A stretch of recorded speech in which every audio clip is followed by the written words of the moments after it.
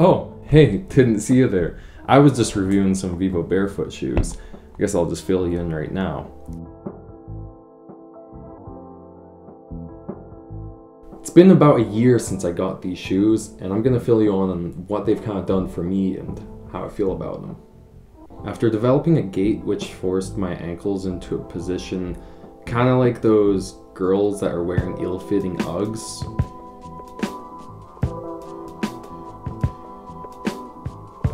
yeah, kind of like that. Um, I decided something needed to change. I was really used to wearing Nikes that eventually my ankles caved in like that. You could see the wear on the foam. And I didn't even realize it for the longest time. At some point, my friends were like, hey, dude, your ankles are all Four. fucked up. And I was like, what? What do you mean? I didn't even realize that at the time. So at that point, I started getting interested into barefoot shoes, uh, Vans, something with like a stiff sole or something that wouldn't cave in. Um, but that's where I started to look into barefoots because I've heard like, wow, these things are great. And then I got into this whole thing. I've been doing a lot of high intensity running and movement stuff for for most of my life, and I've naturally gotten a lot of injuries, some of which have lasted, lasted for over half of a decade. I found a set of the Vivobarefoot Primus Trail Swim Run Edition and fell in love. Holy shit, something I could swim in, go hiking in, walk across volcanic rock in, run in, lift in. I've used these almost every single day since I've got them, about a year ago. And let me tell you, these are by far the best shoes I've ever used, period. I'm not just trying to sales you or be some marketing. These are literally the best shoes I've ever used, period. My run times have improved significantly. My agility got better, my balance got more stable, and more importantly, my injuries slowly but surely faded away. Mostly. Also, my stupid ankles corrected. Naturally, these shoes aren't amazing with snow, mud, or scree, loose stuff. Um, and while this neoprene kind of ankle sock does exist, after a while it kind of just stretched out and didn't really hug my ankle, so you know, dirt, debris, and grime could still get in. So I think the next pair I'm going to go for is something like the Magna Trail or something with a high uh, sock here that prevents stuff from getting inside. Of course, it's also breathable. It breathes really well, which is amazing in the summer, but once you encounter puddles or, you know, snow or mud, the stuff's gonna kind of get down inside. It doesn't like leak through super easily, but it does, it eventually will.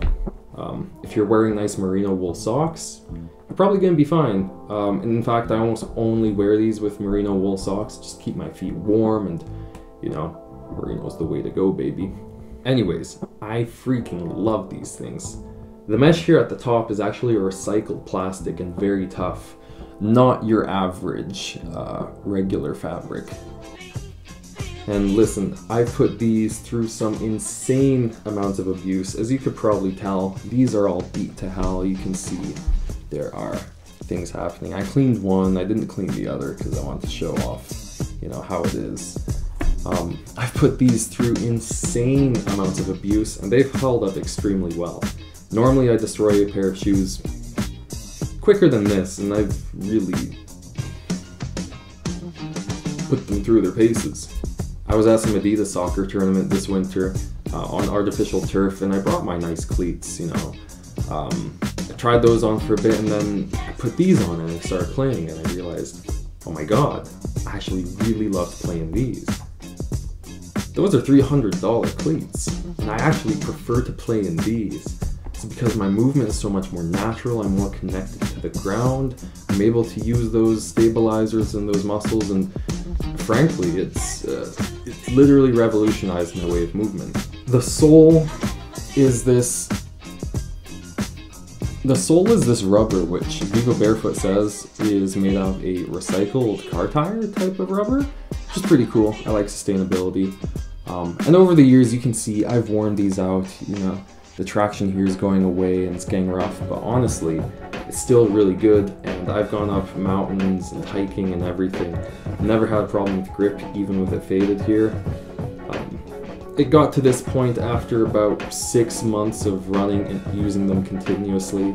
They're tough, but they won't last forever. Um, but I'm totally okay with it because this even improves the feel of the surface that you're on. So it's not really a big deal in the end. Oh, and they are super quick and easy to clean. They're caked in mud, I like to use scrub, uh, scrubby, some warm water, and just go to town on them. Uh, since this isn't a normal fabric, you can you can just be aggressive with, with the whole shoe and you know not really worry too much like oh am I gonna damage my beautiful shoes. This is durable as heck. All this plastic kind of rubber material, it, does it does wonders. I've beaten the hell out of these things, as you can see. Um, I've even gotten these stitched up using nylon after. Uh, running into a tree while biking. It's kind of impaled the foot. I'm gonna stitch up these other holes. They are reaching kind of the end of their life. I, I feel like I can put so much more abuse to them, but you know, think it might be time to move on to a new pair. Some cons, well, maybe the styling is not for you. I don't really care so much about styling, but you know, some people say they look like swim shoes, they look weird, they'd never be caught out wearing those honestly, I don't care. Most people I'm around are athletes, and they're like, "Oh, that's interesting," and they're always wondering, like, "Hey, what's barefoot shoes like?" Yeah, so I'm not really a fashion conscious guy. I don't really care about that stuff as much, honestly. Um, if they work great, then amazing. If it looks great while doing that, even better. I actually think these look pretty okay, but especially for a barefoot shoe, they're not the freaky five finger Vibrams that we see. You know, you look like a freaking serial killer with those on, honestly. A big benefit to having these is you can look down on people using normal shoes.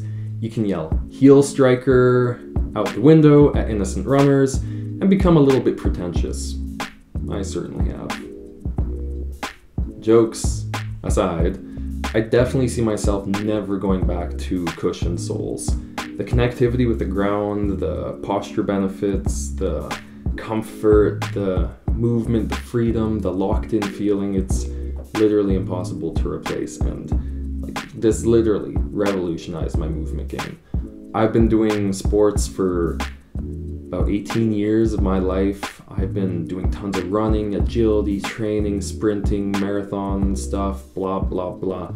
And these are really like the new holy shit. It's fucking amazing, man. Also, something that I really love, which is super underrated, are these pull tabs here. And this just helps you lace up super quick. Honestly, I almost don't want to go back to lacing up my shoes. I'm so lazy now. Uh, and this really helped. I just slip it on, tighten it up, good to go. That's one of another really fun thing. It's just a super durable shoe. Like, it, I can do anything with them. Like, I've seriously gone everywhere I can think of with these, and I want to have them forever. So please, Vivobarefoot, send me more shoes.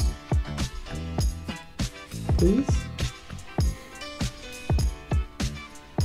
Please? Also, just something about the company itself. Vivobarefoot, they're actually pretty sweet. Like, they're sustainable. They try and recycle materials. They you know, for some of their shoes, they'll resole them for a price to give them extra life. Honestly, I really like that. I'm trying to transition towards sustainability and, you know, just spending my money wisely. I'd rather not buy my shit from Nike or Adidas or, you know, those big guys that make shit in sweatshops.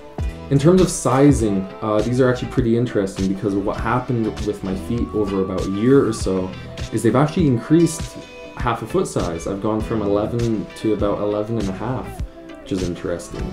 So these ones, I believe I'm running in a 44 European, which is about 10 and a half, 11 US.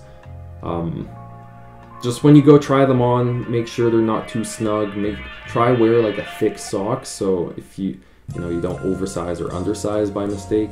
Speaking about snow and winter and all that stuff, I've gone through snow with these no problem. They don't actually get that cold and with one or two pairs of merino wool socks, you're gonna be fine. I've gone through really gross winter slush, snow, and been totally okay with them. They do come with a removable insole, which also helps for thermal, you know, protection, keeps it warmer, all that stuff.